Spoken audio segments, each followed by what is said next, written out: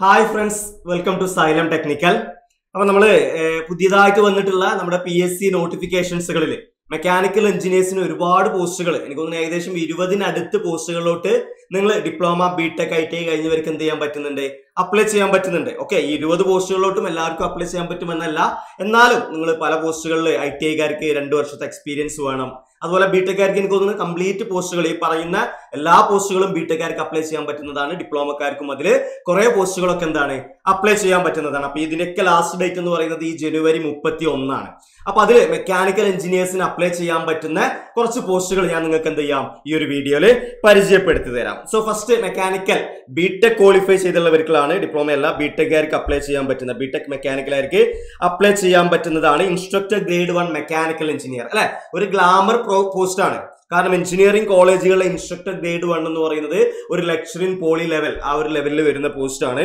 So instructor grade one mechanical engineering category number നിങ്ങൾ note ചെയ്ത് വെച്ചോ. അറുന്നൂറ്റി മുപ്പത്തിരണ്ട് രണ്ടായിരത്തി ഇരുപത്തി മൂന്ന് ഇതിന്റെ ഏജ് ലിമിറ്റ് ഇതിന്റെ എക്സാം ഏകദേശം വരുന്നത് ജൂലൈ സെപ്റ്റംബറിലാണ്. അപ്പോൾ നമുക്ക് ആറ് മാസത്തിലേറെ സമയമുണ്ട്. നല്ല രീതിയിൽ പഠിച്ച് പ്രിപ്പയർ ചെയ്ത് നിങ്ങൾക്ക് എന്ത് ചെയ്യാം? ഈ ഒരു എക്സാമിന് നേരിടാൻ പറ്റും. ഓക്കെ ആണല്ലോ? സോ രണ്ടാമത് വരുന്നതാണ്. ജൂനിയർ ഇൻസ്ട്രക്ടർ മെക്കാനിക്കൽ അഗ്രികൾച്ചറൽ മെഷീനറിയിൽ ജൂനിയർ ഇൻസ്ട്രക്ടർ പോസ്റ്റുകളാണ് കാറ്റഗറി നമ്പർ അറുന്നൂറ്റി നാൽപ്പത് രണ്ടായിരത്തി ഇരുപത്തി മൂന്ന് അപ്പോൾ ഒരുപാട് ഇൻസ്ട്രക്ടർ പോസ്റ്റുകൾ ഉണ്ട്. അപ്പൊ അതിൽ ചോദിക്കുന്നുണ്ട് അത് അപ്ലൈ ചെയ്യാൻ പറ്റുമോ എന്നുള്ളത്? അപ്ലൈ ചെയ്യാം. അതിന്റെ ഒരു ക്വാളിഫിക്കേഷൻ വരുന്നത്. ഇവിടെ നിങ്ങൾക്ക് നോക്കിയാൽ മനസ്സിലാവും. അപ്പോൾ നമുക്ക് ഐ ടി അതുപോലെ തന്നെ കഴിഞ്ഞ തവണ അപ്ലൈ ചെയ്തിട്ടുള്ളവരെ കേസ് പറഞ്ഞിട്ടുണ്ട്. ഡിപ്ലോമയും അപ്പൊ ഇവിടെ ഇത് മെക്കാനിക്കലായി അപ്ലൈ ചെയ്യുന്ന സമയത്ത് ഡിപ്ലോമ അല്ലെങ്കിൽ ഡിഗ്രി ഉള്ളവർ അപ്ലൈ ചെയ്യുന്ന സമയത്ത് ഏത് ഈക്വലന്റ് കൊടുക്കണമെന്ന് ചോദിച്ചാൽ പോളിടെക്നിക് ഡിപ്ലോമ മെക്കാനിക്കൽ എഞ്ചിനീയറിംഗ് എന്നുള്ള അതിന്റെ അപ്ലൈ അതിന്റെ ഈക്വലന്റ് കൊടുത്തിട്ട് എന്ത് ചെയ്യാം? ബിടെക്കാർക്ക് അപ്ലൈ ചെയ്യാം. ഇനി നിങ്ങൾ പോളിടെക്നിക് ഡിപ്ലോമ മെക്കാനിക്കൽ ആണെങ്കിൽ നിങ്ങൾക്ക് എന്ത് ചെയ്യാം?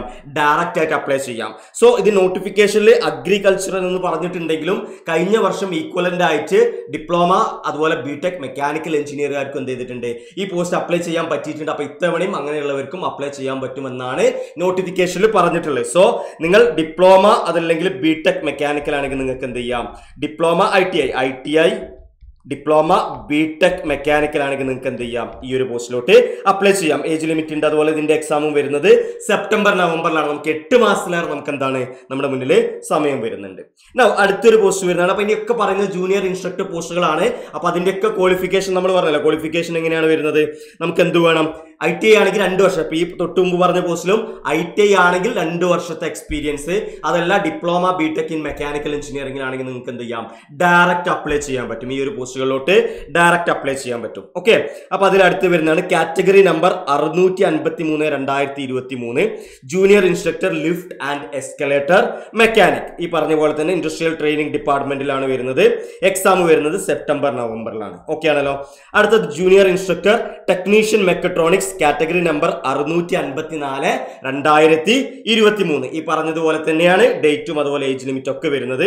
അടുത്തത് junior instructor tool and die maker category number അറുന്നൂറ്റി അൻപത്തി അഞ്ച് രണ്ടായിരത്തി ഇരുപത്തി മൂന്ന് ഓക്കെ ഇതും നിങ്ങൾക്ക് അപ്ലൈ ചെയ്യാൻ പറ്റും. അടുത്തത് കാറ്റഗറി നമ്പർ അറുന്നൂറ്റി അൻപത്തെട്ട് രണ്ടായിരത്തി ഇരുപത്തി മൂന്ന് junior instructor mechanic diesel okay അടുത്തത് കാറ്റഗറി നമ്പർ അറുന്നൂറ്റി അൻപത്തി ഒമ്പത് junior instructor fitter then next category number അറുന്നൂറ്റി അറുപത് രണ്ടായിരത്തി ഇരുപത്തി മൂന്ന് junior instructor pump operator cum mechanic അപ്പൊ ഇതൊന്നും ഞാൻ ഡീറ്റെയിൽ ആയിട്ട് പറയുന്നത് ഒക്കെ ആദ്യം പറഞ്ഞതുപോലെ തന്നെ ഐ ടി ഐ ആണെങ്കിൽ നിങ്ങൾക്ക് രണ്ട് വർഷത്തെ എക്സ്പീരിയൻസ് അതല്ല diploma or B tech mechanical engineering ആണെങ്കിൽ ഈ പറഞ്ഞ പോസ്റ്റുകളിലോട്ടൊക്കെ നിങ്ങൾക്ക് എന്ത് ചെയ്യാം? അപ്ലൈ ചെയ്യാൻ പറ്റും. ഒക്കെ എക്സാമുകൾ വരുന്നത് സെപ്റ്റംബർ നവംബറിലാണ് ഓക്കെ അടുത്തത് ജൂനിയർ ഇൻസ്ട്രക്ടർ ടേണർ ആണ്. കാറ്റഗറി നമ്പർ അറുന്നൂറ്റി അറുപത്തി ഒന്ന് രണ്ടായിരത്തി ഇരുപത്തി മൂന്ന് അപ്പോൾ അപ്ലൈ ചെയ്യുന്ന സമയത്ത് ഡിപ്ലോമക്കാരാണെങ്കിൽ നിങ്ങൾ എന്ത് ചെയ്യുക പോളിടെക്നിക് ഡിപ്ലോമ നേരിട്ട് തന്നെ അപ്ലൈ ചെയ്യാൻ പറ്റും. നിങ്ങൾ ബിടെക് മെക്കാനിക്കൽ ആണെങ്കിൽ നിങ്ങൾ എന്ത് കൊടുക്കുക? പോളിടെക്നിക് മെക്കാനിക്കൽ എന്നുള്ളതിന്റെ ഈക്വലന്റ് ഓർ ഹയർ വെച്ചിട്ട് നിങ്ങൾ എന്ത് ചെയ്യുക അപ്ലൈ ചെയ്യുക ഓക്കെ ദെൻ അടുത്തത് പത്താമത്തെ ഇപ്പോൾ നമ്മൾ എനിക്ക് തോന്നുന്നു നമ്മൾ രണ്ട് മുതൽ ഇതുവരെയുള്ളതൊക്കെ ജൂനിയർ ഇൻസ്ട്രക്ടർ പോസ്റ്റുകളാണ് അപ്പോൾ അത്യാവശ്യം നല്ല രീതിയിൽ ജൂനിയർ ഇൻസ്ട്രക്ടർ പോസ്റ്റുകൾ മെക്കാനിക്കൽ എഞ്ചിനീയറിംഗ് കഴിഞ്ഞവർക്ക് അപ്ലൈ ചെയ്യാൻ പറ്റും. കാറ്റഗറി നമ്പർ അറുന്നൂറ്റി അറുപത്തി നാല് രണ്ടായിരത്തി ഇരുപത്തി മൂന്ന് junior instructor sheet metal worker okay then പതിനൊന്നാമത്തത് junior instructor mechanic refrigeration and air conditioning R A C category number അറുന്നൂറ്റി അറുപത്തി അഞ്ച് രണ്ടായിരത്തി ഇരുപത്തി മൂന്ന് ദെൻ അടുത്തത് പന്ത്രണ്ട് വരുന്ന. അടുത്ത ജൂനിയർ ഇൻസ്ട്രക്ടർ ആണ് driver cum mechanic category number അറുന്നൂറ്റി അറുപത്തി എട്ട് രണ്ടായിരത്തി ഇരുപത്തി മൂന്ന് അടുത്തത് junior instructor wood work technician category number അറുന്നൂറ്റി എഴുപത്തി നാല് രണ്ടായിരത്തി ഇരുപത്തി മൂന്ന് ഓക്കെ ദെൻ അപ്പൊ ഇത്രയാണ് നമുക്ക് ജൂനിയർ ഇൻസ്ട്രക്ടർ പോസ്റ്റിലോട്ട് വരുന്നത്. അപ്പൊ ഈ ഓരോ എക്സാമിന്റെയും സിലബസുകളും എക്സാംസുകളും ഡിഫറെന്റ് ആണ്. അപ്പൊ നമ്മൾ അതിന്റെയൊക്കെ സിലബസുകൾ അതുപോലെ പ്രീവിയസ് ക്വസ്റ്റ്യൻ പേപ്പേഴ്സുകൾ നമ്മൾ ഡിസ്കസ് ചെയ്യുന്നുണ്ട്. അതിന്റെ വീഡിയോസ് പെട്ടെന്ന് തന്നെ നമ്മുടെ ഈ ഒരു യൂട്യൂബ് ചാനൽ വഴി നിങ്ങൾക്ക് കാണാൻ പറ്റുന്നതാണ്. നിങ്ങൾ എന്ത് ചെയ്യുക? ചാനൽ സബ്സ്ക്രൈബ് ചെയ്യുക. നിങ്ങളുടെ എല്ലാ ഫ്രണ്ട്സിലും മെക്കാനിക്കൽ എഞ്ചിനീയറിംഗ് കഴിഞ്ഞിട്ടുള്ള ഡിപ്ലോമ ഡിഗ്രി അതല്ലെങ്കിൽ ഐ ടി ഐ മെക്കാനിക്കൽ ട്രേഡ്സുകൾ കഴിഞ്ഞ എല്ലാവർക്കും എന്ത് ചെയ്യുക? ഈ ഒരു യൂട്യൂബിന്റെ ചാനൽ ഷെയർ ചെയ്യുക. ഓക്കെ ലിങ്ക് ഷെയർ ചെയ്യുക. അടുത്ത എക്സാം വരുന്നതാണ് നമ്മൾ ഇതുവരെ പറഞ്ഞത് ഡിഫറെന്റ് ആയിട്ട്. Fitter grade two category number അറുന്നൂറ്റി എൺപത്തി എട്ട് രണ്ടായിരത്തി ഇരുപത്തി മൂന്ന് okay department Kerala state water transport. ഇതിന്റെ എക്സാം പെട്ടെന്ന് വരാം. ഏപ്രിൽ ജൂൺ ആണ് അവർ കൊടുത്തിട്ടുള്ളത്. അതുകൊണ്ട് നമുക്ക് നാല് മാസമേ ഉള്ളൂ. പഠിക്കാൻ ഉദ്ദേശിക്കുന്നവർ ഈ ഒരു എക്സാം സീരിയസ് ആയിട്ട് നോക്കുന്നവർ ഇന്ന് തന്നെ അതിന്റെ പ്രീവിയസ് ക്വസ്റ്റ്യൻ പേപ്പേഴ്സുകളും പ്രീവിയസ് സിലബസും കളക്ട് ചെയ്തിട്ട് എന്ത് ചെയ്യുക? നിങ്ങളുടെ പഠനം ഇന്ന് തന്നെ ആരംഭിക്കുക. അപ്പൊ ഇത് അപ്ലൈ ചെയ്യാൻ പറ്റുന്നത് ഐ ടി ഐക്കാർക്കും തന്നെ ക്വാളിഫിക്കേഷനും വേണ്ട. I T I T C fitter കഴിഞ്ഞവർക്ക്. അതുപോലെ diploma mechanical B tech diploma mechanical and പ്രൊഡക്ഷനിലുള്ളവർക്ക് എന്ത് ചെയ്യാൻ പറ്റും? ഈ ഒരു എക്സാമിന് അപ്ലൈ ചെയ്യാൻ പറ്റും. ഓക്കെ അടുത്തത് ടെക്നിക്കൽ സൂപ്പർവൈസർ എന്ന് പറയുന്ന ഒരു പോസ്റ്റാണ് കാറ്റഗറി നമ്പർ അറുന്നൂറ്റി തൊണ്ണൂറ്റി മൂന്ന് രണ്ടായിരത്തി ഇരുപത്തി മൂന്ന് കുറെ പേർക്ക് അറിയില്ല. ഓക്കെ അപ്പം ഞാൻ ഈ അപ്ലൈ ചെയ്യുന്നൊക്കെ പറഞ്ഞപ്പോൾ ഇങ്ങനെ ഒരു പോസ്റ്റ് പറഞ്ഞപ്പോൾ പലരും ഓ ഇത് മെക്കാനിക്കലാർക്ക് പറ്റുമോ ഇത് മെക്കാനിക്കലാണ് കാരണം ടെക്നിക്കൽ സൂപ്പർവൈസർ എന്ന് പറയുമ്പോൾ നമ്മൾ ചിലപ്പം നോട്ടിഫിക്കേഷന്റെ സമയത്ത് ശ്രദ്ധിക്കൂല. അപ്പോൾ കാറ്റഗറി നമ്പർ അറുന്നൂറ്റി തൊണ്ണൂറ്റി മൂന്ന് രണ്ടായിരത്തി ഇരുപത്തി മൂന്ന് ഡിപ്പാർട്ട്മെന്റ് വരുന്ന ട്രാവൻകൂർ ഷുഗേഴ്സ് ആൻഡ് കെമിക്കൽ ലിമിറ്റഡിൽ ഒക്ടോബർ ഡിസംബറിലാണ് ഒരുപാട് സമയമുണ്ട്. പത്ത് മാസത്തിലേറെ നമുക്ക് എന്ത് ചെയ്യുന്നുണ്ട്? സമയം വരുന്നുണ്ട്. അപ്ലൈ ചെയ്യാൻ പറ്റുന്നത് diploma in mechanical and electrical അതുപോലെ തന്നെ ആ ഡിപ്ലോമ ആണെങ്കിൽ എന്ത് വേണം? നമുക്ക് ഇവിടെ ഫൈവ് ഇയർ എക്സ്പീരിയൻസ് ഡിപ്ലോമയാണ് സോ ഡിപ്ലോമ ആണെങ്കിൽ ബി ടെക് ആണെങ്കിൽ ഇവിടെ നമുക്ക് എന്ത് വേണം? എക്സ്പീരിയൻസ് വേണ്ട ഒരു പോസ്റ്റ് ആണ്. ഫൈവ് ഇയർ എക്സ്പീരിയൻസ് നിങ്ങൾക്ക് എന്ത് വേണം? ഡിപ്ലോമ ആണെങ്കിൽ ബി ടെക് ആണെങ്കിൽ നിങ്ങൾക്ക് എന്ത് വേണം? ഫൈവ് ഇയർ എക്സ്പീരിയൻസ് വേണം ഈ ഒരു പോസ്റ്റിലോട്ട് ഓക്കെ അടുത്തത് വർക്ക് സൂപ്രണ്ടന്റ് ആണ്. കാറ്റഗറി നമ്പർ എഴുന്നൂറ്റി പതിമൂന്ന് രണ്ടായിരത്തി ഇരുപത്തി മൂന്ന് അപ്പോൾ ഇത് നിങ്ങൾ അപ്ലൈ ചെയ്യാൻ നോക്കുകയാണെങ്കിൽ നിങ്ങൾക്ക് ജനറൽ കാറ്റഗറിയിൽ കാണാൻ പറ്റില്ല. പകരം ഡിസ്ട്രിക്ട് വൈസ് ജനറൽ ആണ് കാണാൻ പറ്റുന്നത്. കാരണം ഇത് ഒരു ഡിസ്ട്രിക്ട് വൈസ് ആയിട്ടുള്ള ഒരു എക്സാം ആണ്. സോയിൽ സർവേ സോയിൽ കൺസർവേഷൻ ഡിപ്പാർട്ട്മെന്റിൽ സിവിലാർക്കും മെക്കാനിക്കലാർക്കും പറ്റുന്നതാണ്. എക്സാം വരുന്നത് ജൂലൈ സെപ്റ്റംബറിലാണ്. അപ്പോൾ ഇത് ഇത്രയും പേർക്ക് ഇത് കഴിഞ്ഞ തവണ അപ്ലൈ ചെയ്തിട്ടുണ്ട്. അപ്പോൾ ഇത്തവണയും അത് പറ്റും. സോ ഇവിടെ qualification diploma in agriculture and rural എഞ്ചിനീയറിംഗിലാണെങ്കിലും കഴിഞ്ഞ വർഷം കഴിഞ്ഞ തവണ ഈ ഒരു എക്സാം ഈക്വലന്റ് ആയിട്ട് ആരൊക്കെ അപ്ലൈ ചെയ്തിട്ടുണ്ട്? B tech mechanical B tech civil അതുപോലെ തന്നെ polytechnic diploma civil polytechnic diploma mechanical okay അതുപോലെ ഐ ടി ഐ നിങ്ങൾ ഈ ഒരു സിവിൽ കൺസ്ട്രക്ഷൻ മേഖലയിലൊക്കെ എന്താണ് ഐ ടി ഐ കഴിഞ്ഞവരാണെങ്കിൽ അവർക്കും ഐ ടി ഐ സിവിൽ കഴിഞ്ഞവർക്കും ഇത് അപ്ലൈ ചെയ്യാൻ പറ്റും. ഓക്കെ അപ്പോൾ നിങ്ങൾ ഈക്വലന്റ് കൊടുത്തിട്ട് എന്ത് ചെയ്യുക അപ്ലൈ ചെയ്യുക ഇത് അപ്പോൾ അതിൽ പറഞ്ഞിട്ടുണ്ട് കഴിഞ്ഞ തവണ അപ്ലൈ ഇതുവരെയൊക്കെ ചെയ്തിട്ടുണ്ട് അത് ഇത്തവണയും പറ്റും. പിന്നെ അങ്ങോട്ടുള്ളത് എന്തായിരിക്കും? അവർ പുതിയ ഹൈക്കോർട്ടിലാണ് നമുക്കറിയാം കാര്യങ്ങളുള്ളത് അത് കഴിഞ്ഞിട്ട് ചെയ്യും. ഇനി അടുത്തത്. ഇപ്പോ ആ ഇത് ജൂനിയർ ഇൻസ്ട്രക്ടർ പോസ്റ്റ് തന്നെയാണ് പക്ഷെ ജനറൽ അല്ല എൻ സി എ മുസ്ലിം ആണ് ഓക്കെ മുസ്ലിം കാറ്റഗറിയിലുള്ളവർക്കാണ്. Category number seven twenty nine bar twenty twenty three okay അതും സെപ്റ്റംബർ നവംബർ ഒരുമിച്ച് തന്നെ ആയിരിക്കും നമ്മൾ നേരത്തെ പറഞ്ഞ mechanic refrigeration and air conditioning എന്ന് പറയുന്ന ആ ഒരു എക്സാമിന്റെ ഒരുമിച്ചായിരിക്കും. അടുത്തതൊന്ന് ബിടെക് മെക്കാനിക്കൽ ബിടെക്കാർക്ക് മാത്രം അല്ല ഇതുവരെ പറഞ്ഞതൊക്കെ എന്താണ്?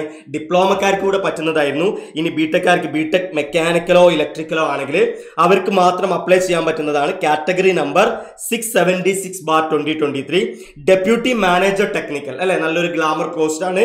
ഡെപ്യൂട്ടി മാനേജർ പോസ്റ്റിലോട്ട് എക്സ്പീരിയൻസ് ഇല്ലാതെ ഡയറക്റ്റ് ആയിട്ട് ഡെപ്യൂട്ടി മാനേജർ പോസ്റ്റിലോട്ടാണ് നിങ്ങൾ കയറുന്നത് category number six seven six twenty twenty three department Travancore sugars and chemical limited അപ്പൊ നമുക്ക് അത്യാവശ്യം സമയമുണ്ട്. ഓഗസ്റ്റ് ഒക്ടോബറിലാണ് എക്സാം അപ്പൊ നേരത്തെ തന്നെ സിലബസ് കളക്ട് ചെയ്ത് മിക്കവാറും അതിൽ വരുന്നത് മെക്കാനിക്കലും ഇലക്ട്രിക്കലും കൂടെ കമ്പൈൻ ചെയ്തിട്ടുള്ള ഒരു എക്സാം ആയിരിക്കും. അപ്പോൾ മെക്കാനിക്കൽ പഠിക്കുക അതിന്റെ കൂടെ തന്നെ സിലബസിൽ നോക്കിയിട്ട് ഇലക്ട്രിക്കലും കൂടെ പഠിക്കുക. ഇലക്ട്രിക്കലാണെങ്കിൽ മെക്കാനിക്കലും കൂടെ പഠിക്കുക. ഓക്കെ അപ്പോൾ നമുക്ക് സമയമുണ്ട്. ഒരു ടൈം ടേബിൾ വെച്ചിട്ട് പഠിച്ചെടുക്കാൻ പറ്റുന്നുള്ളൂ. കാരണം നല്ലൊരു പോസ്റ്റാണ് ഡെപ്യൂട്ടി മാനേജർ എന്ന് പറയുന്നത് അല്ലേ? നമുക്ക് തന്നെ അറിയാം ഒരു മാനേജറിയൽ പോസ്റ്റാണ് സോ കാറ്റഗറി നമ്പർ ഓർത്ത് വെച്ചോ six seven six bar twenty twenty three ഇനി അവസാനം വരുന്നതാണ് അസിസ്റ്റന്റ് ഡയറക്ടർ ഓക്കെ ഒരു ഡയറക്ടർ ലെവൽ പോസ്റ്റിലോട്ടാണ് വരുന്നത്. അതും എക്സ്പീരിയൻസ് ഇല്ലാതെ. ഇതിന്റെ ഒരു ക്വാളിഫിക്കേഷൻ എന്ന് പറയുന്നത് a degree in any branch of engineering mech ആയിക്കോട്ടെ സിവിൽ ആയിക്കോട്ടെ ഇലക്ട്രിക്കൽ ആയിക്കോട്ടെ സി എസ് ഏതായാലും ഏത് ബ്രാഞ്ചിലായാലും നിങ്ങൾക്ക് ഒരു ബി ടെക് ഡിഗ്രി ഉണ്ടെങ്കിൽ നിങ്ങൾക്ക് അപ്ലൈ ചെയ്യാം.